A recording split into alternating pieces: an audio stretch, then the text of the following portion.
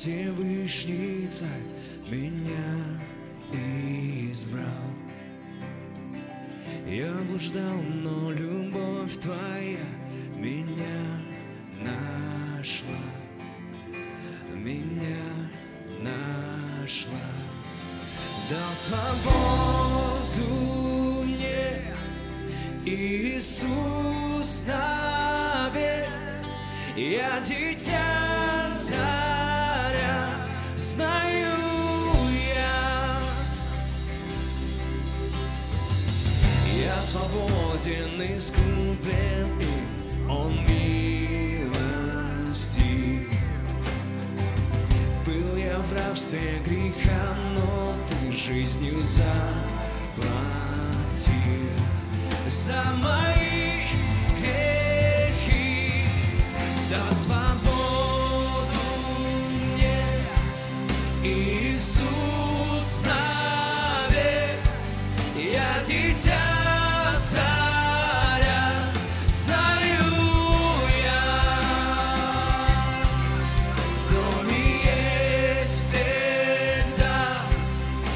that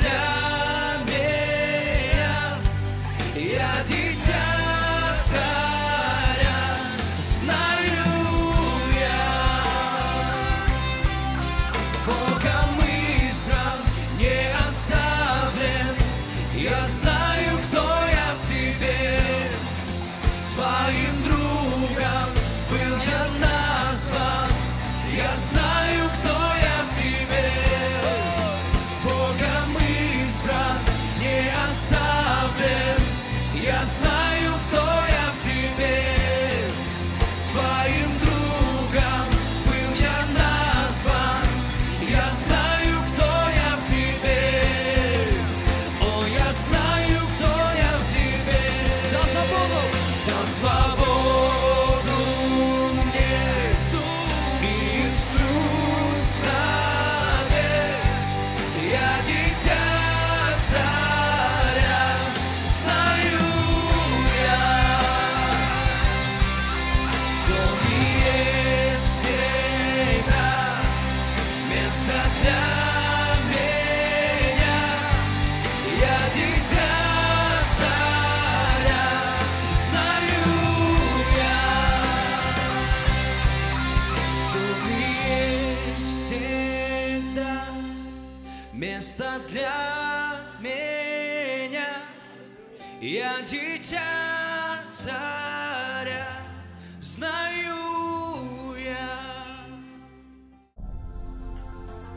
Да светит свет ваш пред людьми, чтобы они видели ваши добрые дела и прославляли Отца вашего Небесного. Итак, мои дорогие друзья, я думаю, что Бог позволит, я ну, сегодня и завтра как бы такой получится единый сериальчик, поразмышлять над словом, повникать, почему, от чего. Э, Я, когда начинал этот год, было, верю это от Господа слово, что постараться пребывать в этой теме, что за смирением следует страх Господень, богатство, слава, жизнь. Конечно, на мой взгляд, мало кто это делает, на мой взгляд, мало кто это исполняет э, так, как должно быть. Но я постараюсь это все объяснить, что происходит в нашей жизни. Именно смирение. Если оно у меня, это м, как, как каждый определяет сам. Каждый определяет сам смирение или наш эгоизм, кто побеждает каждый день, там, не знаю, каждый месяц. И, ну, как обычно, христиане, они полны намерений, мечтаний, желаний и хотений, но результаты, ну, к сожалению, не такие, о которых мы читаем в Слове Божьем. И вот, ну, как бы постараюсь объяснить, что, может быть, нам мешает, что препятствует, или что делать, чтобы действительно принять все то, что Бог даровал, принять все то, что нам принадлежит, принять все то, что э, нам даровано из этих великих драгоценных обетований. Конечно, ну как бы, я говорю, смирение, это порой сложно нам дается, это отвергать себя надо, эм, это быть послушным, быть покорным тому, что Господь говорит. Страх Божий – это когда не то, что я хочу, а то, что Господь сказал в Своем Слове Божьем. И опять это наш выбор, э, что мы выбираем. И в зависимости от нашего выбора оно и дальше происходит. Богатство, слава, жизнь. Либо ты мимо пролетишь в этой жизни, либо ты все-таки приложишь старания, усилия, чтобы оно стало твоим. Я, ну, как бы много лет все-таки в Церкви Божией э, слушал, общался со всеми всевозможными христианами, течениями, движениями, а, философии очень много. Но для меня, ну, как бы, в принципе, все Господь просто написал. Вот для меня лично. Если я буду смиряться, если я буду искать этот страх Господень, Бог обещал мне богатству, славу, жизнь. Я это искренне хочу, я это искренне желаю, мне это интересно. Мне это интересно, и я понимаю, для этого нужно прилагать и старания, и усилия, чтобы то, что Господь дал, оно стало твоим. В принципе, вообще, ну как бы о смирении, когда я начинал говорить, Господь говорит просто, если, если смирится мой народ, который именуется именем моим, если станет молиться, вот молитва – если действительно мы в эту молитву войдем, если мы начнем течь в этой молитве по-настоящему, тогда я не сомневаюсь, что-то начнет изменяться в нашем сердце, что-то начнет изменяться в нашем окружении, и тогда то, что Господь сказал в Своем Слове, оно начнет свершаться, оно начнет открываться, так, как Господь предначертал, так, как Господь приготовил, так, как Господь сказал. Все зависит от этого. Я просто, ну, как бы понимаю, что мы очень-очень эгоистичны. Мне порой, ну, как бы, эм, ну, трудно понять людей. Думаю, почему они не хотят Бога? Я это искренне, вот где бы я там ни был, думаю, почему люди выбирают свой эгоизм? Почему люди выбирают ну, свое вот это «я, мне мое». Почему не хотят принять то, что Бог даровал? Ведь это, ну, каждый день мой выбор, это каждый день выбирать, обижаться или нет, осуждать или нет, это выбирает каждый человек сам. Превозноситься над кем-то или просто служить кому-то, это выбор каждого, каждого из нас. Мы выбираем, а Господь, глядя на наши сердца, Он начинает изливать э, свою любовь, Он начинает изливать свое помазание, э, как бы, когда еще много лет назад, наверное, в 80-х годах я еще, э, когда читал Слово Божие, не понимал, читая там, где Господь говорит, жатвы много, а делателей мало. Ну, с годами там я начал трудиться на этой жатве, и я могу сказать, как, ну, как пастор многих церквей, что жатвы просто навалом, а вот со служителями вся проблема – очень мало тех, кто действительно посвящен Господу, очень мало тех, кто э, по-настоящему ну, желает отвергнуть вот себя, чтобы принять Божье. И на какой-то уровень мы это делаем, но потом дальше часто останавливаемся. Ну вот я постараюсь как могу объяснить, что же с нами происходит, почему э, те великие драгоценные обетования, которые Бог дал, они ну, не наполняют нашу жизнь. Нашу жизнь.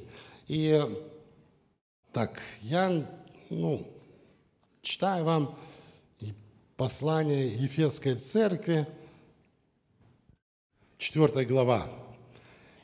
И вот здесь э, Павел, который находился в это время в тюрьме, он пишет, «Я узник Господи, я умоляю, поступать достойно звания, в которое вы призваны, со всяким смиренным мудрием, кротостью, долготерпением, снисходя друг к другу с любовью. Старайтесь сохранять единство духи в союзе мира. Одно тело, один дух, как и вы призваны к одной надежде, один Господь, одна вера, одно крещение – и дальше он объясняет, он поставил церкви э, апостолов, пророков, евангелистов, пастырей, учителей к совершению святых, на дело служения, для созидания тела Христова, доколе мы все придем в единство веры и познания Сына Божьего, мужа совершенного, в меру полного возраста Христова, дабы мы не были более младенцами, колеблющимися, увлекающимися всяким ветром учения». Ну вот здесь Господь говорит о теле Христовом. И вот Он говорит, что ну как, если ты пришел в церковь, этому учиться надо со смиренномудрием, смиренномудрием, кротостью, долготерпением, снисходить друг к другу. Поймите, если мы это нарушаем, если мы это попираем, мы просто не сможем никогда возрастать в Господе. Мы не сможем войти в тот полный возраст Христов, где эти великие драгоценные обетования даны нам. Все для жизни, все для благочестия. Очень важно, почему это Господь дал, и ответить самому себе честно, почему у меня этого нету. Бог не шутил, когда Он об этом написал. Это Его желание, чтобы ты и я были светом, были солью, были головой, а не хвостом были на высоте, не внизу, но что-то вот, ну, как бы мешает нам, мешает нам делать то, к чему Он нас призвал. И вот Он тогда, э, Господь поставляет апостолы, пророки, евангелисты, учителя, пастыря, для того, чтобы они научали народ, для того, чтобы они вели народ. Вот это мое служение, вас учить, вас наставлять, а, цель моя какая? Чтобы вы возрастали. Цель моя какая? Чтобы, допустим, вы принимали то, что Господь даровал, то, что Господь совершил, то, что Господь излил во всей полноте. Для меня, как нормального служителя, это всегда радость и великая радость, ваш успех, ваши победы, ваши благословения. Для меня это, ну, как великая печаль, когда мы ходим годами в церковь, нету результата когда мы больны, немощны, когда мы в долгах, в нищете, скудости. Я понимаю, это и есть не смирение перед Господом, это отсутствие страха Божия, потому что где-то человек, он просто не желает смириться перед Словом, живет ну, своим девизом «Я, мне мое».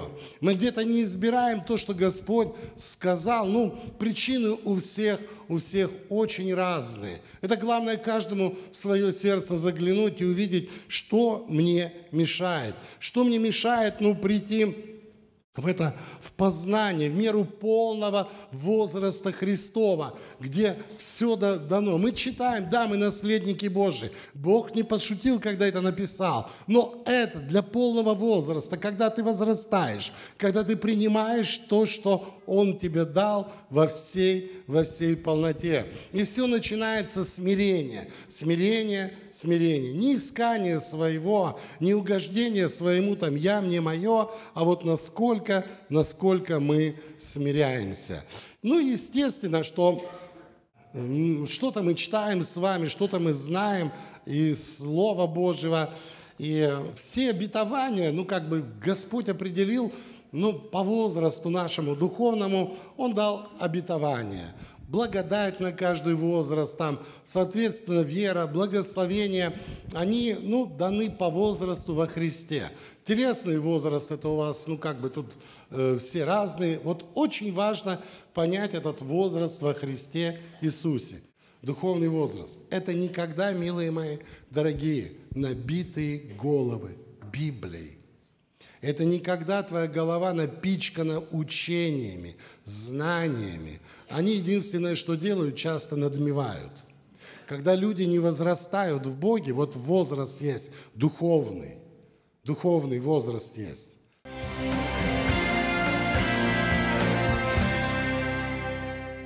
Если ты не возрастаешь, ну это просто оно приходит к надмению, там близко смирения его и нету. Я просто ну, читаю вам послание Иоанна, я возьму вторая глава, что, ну, что мы тут с вами должны знать. Начинается она с того, что Господь говорит, кто любит брата своего, тот пребывает во свете, нет в нем соблазна.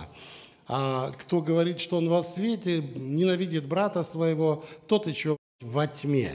И вот он дальше пишет. «Пишу вам, дети, потому что прощены вам грехи ради имени Его. Пишу вам, отцы, потому что вы познали сущего от начала. Пишу вам, юноши, потому что вы победили лукавого. Пишу вам, отроки, потому что вы познали Отца. Я написал вам отцы, потому что вы познали безначального. Я написал вам юноши, потому что вы сильны. Слово Божие пребывает в вас. Вы победили лукавого. Не любите мира, не того, что в мире.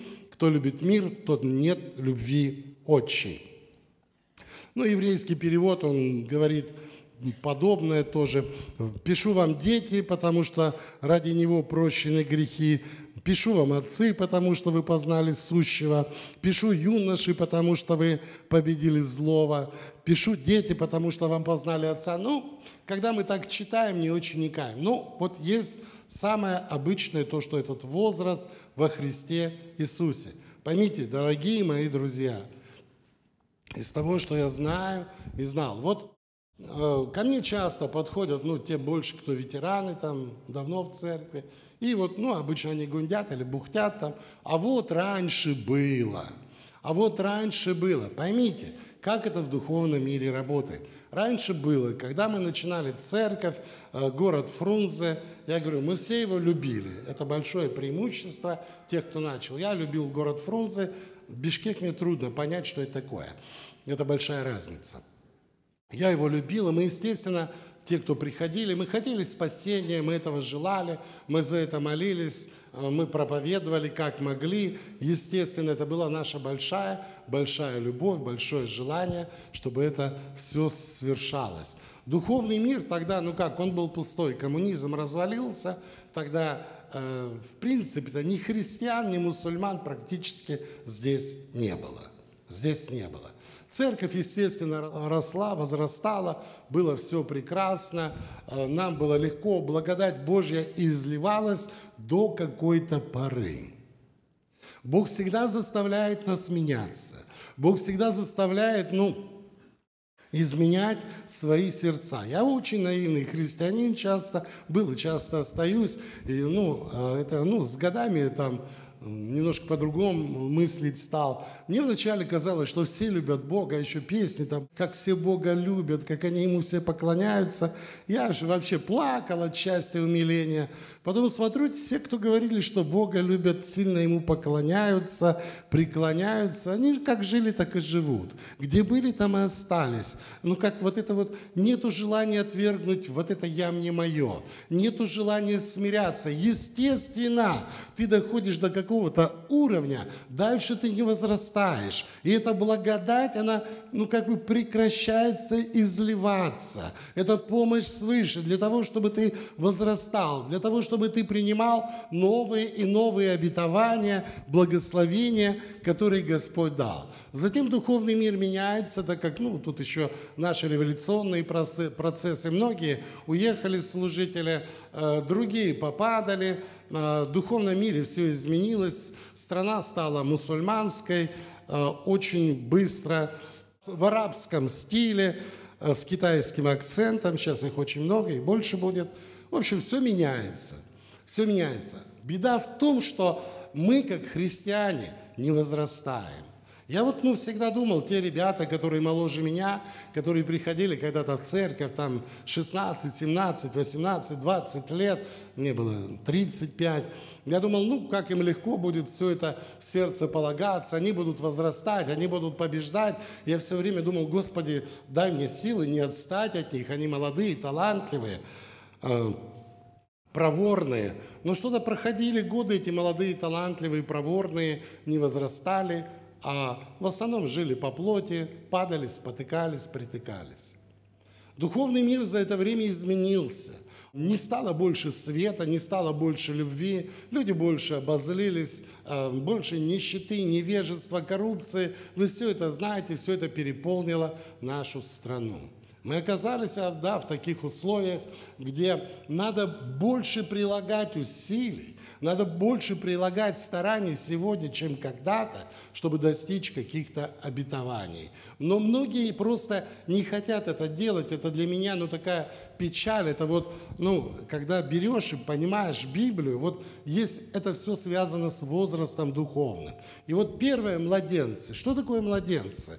А, ну, как вы думаете, тут кто-то есть младенцы во Христе? Или я не тем буду проповедовать? А? Ой, и вот одна сестра, вот для тебя лично, вот, младенцы, да? Тут все -то уже мужи, старцы в основном, ну, для тебя. Вот кто такие младенцы, что их отличает, да? В чем они пребывают, эти младенцы? Ну, как бы вот основные их там качества – в которых они находятся. Вот я объясняю согласно Писанию. Младенцы – это те, которые вот родились в Господе, вы пришли, покаялись, Дух Святой наполнил вас. Ну и как в этом мире плотском, дети, они обычно растут. В христианстве это не всегда и не часто. И не часто. Мозги растут у многих. Мозги растут. Но это не то, что должно быть. Это не то, что должно быть. Вот э, и первое, что мы должны понять, вот уровень твой, где ты. Поймите, в зависимости от вашего уровня, желания подниматься или ничего не делать, лениться, вы либо можете вкусить обилие Божьей благодати, Божьей любви, Божьей славы, Божьей жизни. Я вам скажу, что жизнь с Богом – это прекрасно. Мне это очень нравится. Жить в Боге, что-то делать, созидать – это чудесно, это прекрасно. И вот первое, что нам Господь говорит. Итак, отложивши всякую злобу, всякое коварство, лицемерие, зависть, злословие, как новорожденные младенцы, возлюбите чистое словесное молоко, дабы через него вам возрасти во спасение – Спасение – это исцеление, благословение, Божье здравомыслие. И вот первое, что он говорит, мы должны отложить. Ребятки, если в твоем сердце злоба, если в твоем сердце коварство, если в твоем сердце лицемерие, если в твоем сердце зависть, если в твоем сердце злословие, ты говоришь против других, это есть младенчество – ты младенец в Боге. Но я часто слышу, ко мне приходят там служители, да, вот там младенцы, я смотрю на них, думаю, вот интересно, а ты кто в Боге? Поймите, если мы этим живем, я знаю, этим живут служители, старшие, младшие, этим живут многие пастора, потому что это не есть возрастание в Боге. Но я не только вам проповедую, еще тебе, многие страны будут видеть. Это младенчество. И пока ты в этом младенчестве, тебе очень мало светит этих обетований. Ты не сможешь возрастать. Божье обетование Бог изливает. Божье благословение, Божью жизнь, Божью славу, Божью честь, Божье богатство. Оно будет тогда, когда ты возрастаешь как в этом плотском мире. Вы же не дадите вот своим детям, которым там один, два, три года, все свои деньги. Но Бог чуть-чуть умнее нас. Он то же самое делает. Он не доверит нам, пока мы не расстаемся с этим младенчеством, пока мы вот этим живем злословием, злоречием, говорим друг против друга, прилагаем к этому э, столько усилий, стараний – вместо того, чтобы изменяться. И вот это младенчество, оно не позволяет нам э, изменяться самим. Мы не являемся светом, мы не можем влиять на наше окружение, мы не можем влиять на наши поселки, города, потому что мы не в должном состоянии. И это беда, ну как бы э, мне приходится ну, общаться со многими пасторами. И когда в СССР, СССР развалился, служение началось, да, церкви быстро росли. Это была великая благодать. Это была великая благодать Божья, но потом я смотрел, как многие остановились по одной простой причине, что остались сидеть в младенческом возрасте. Как завидовали, так и завидуют. Естественно, ну, эм, злословить, говорить против кого-то, это естественное состояние состояние к стыду многих христиан. Многих. Естественно, ребятки, это не даст тебе двигаться вперед. Это Слово Божье, оно как бы будет закрыто. Ты его читаешь, но не понимаешь. И по мере того, как ты начинаешь побеждать, по мере того, как ты начинаешь, ну как бы изменять свое сердце, Бог начинает открывать тогда. И, ну, я много же. Иногда проповеди слушаешь, иногда с верующими общаешься. И, ну, я же реально понимаю, когда несут от своего ума младенческого, что попало. Ну, думают, что это очень духовно. Но я таким был. Я это прекрасно понимаю, что я в 80-х знал гораздо больше, чем сегодня. Но это смешно, но это так было. И вот то же самое, это младенцы, это возраст младенцев. И вот пока ты это не оставишь, ты не сможешь дальше двигаться. Пока ты вот эти вот свои, ну как бы вот э, зависть, обиды, это ну обычное явление многих-многих христиан. И мы не можем возрастать, ребята. И мы дети Божьи, которым Бог все дал, заплатил всю цену. Это я раньше так не понимал. Сейчас я понимаю, но если ты не возрастешь, Он детям, этим младенцам не доверяет – то, что Он приготовил. Оно всегда рядом с нами, рядом, потому что мы выбираем сами, либо отвергнуть себя, либо действительно остаться теми, кем мы были. По вопросам приобретения книг Василия Кузина обращайтесь по адресу Россия, город Санкт-Петербург, 197350, улица Долгозерная, 16, дробь 2, МРО Х. Веб, Христианская миссия – Электронный адрес salissobachka.christofor.ru Сайт www.christofor.ru Телефоны плюс 7 901 320 01 91 плюс 7 812 320 01 91